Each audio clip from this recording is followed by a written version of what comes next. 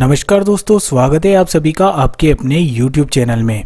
और दोस्तों, अगर आप लोग रोज़ाना केवल एक आंवला खाते हैं तो इससे आपके शरीर को क्या क्या फ़ायदे होते हैं, इसके बारे में एक और महत्वपूर्ण जानकारी लेकर हम लोग हाजिर हैं।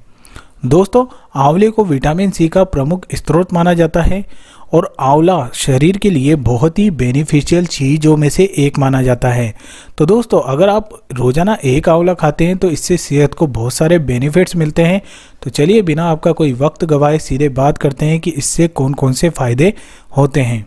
दोस्तों, रोज़ाना सुबह एक आंवला खाकर पथरी होने का खतरा दूर किया जा सकता है। जी हाँ दोस्तों, इसके अलावा हर दिन एक आंवला खाने से आपका पेट साफ़ रहता है और इसके अलावा आपको एसिडिटी और कब्ज से भी छुटकारा मिलता है।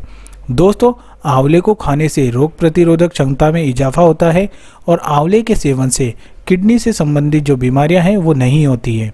इसके अलावा सुबह सुबह आंवले का मुरब्बा अगर आप लोग खाते हैं तो ये शरीर के लिए हेल्दी रहता है और इससे आपकी आँखों की रोशनी भी बढ़ती है।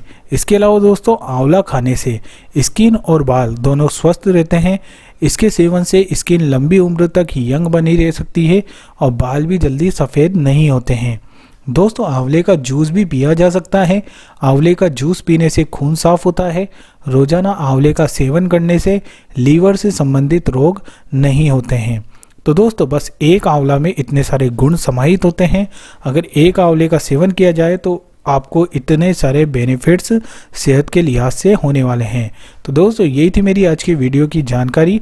उम्मीद करता हूँ आपको मेरी ये वीडियो पसंद आई होगी। अगर वीडियो पसंद आई है तो इस वीडियो को लाइक ज़रूर करें और अगर आप लोग नए हैं तो चैनल को सब्सक्राइब करके बेल आइकन को ज़रूर दबाएँ वीडियो देखने के लिए और अपना कीमती समय देने के लिए आप सभी लोगों का बहुत बहुत धन्यवाद।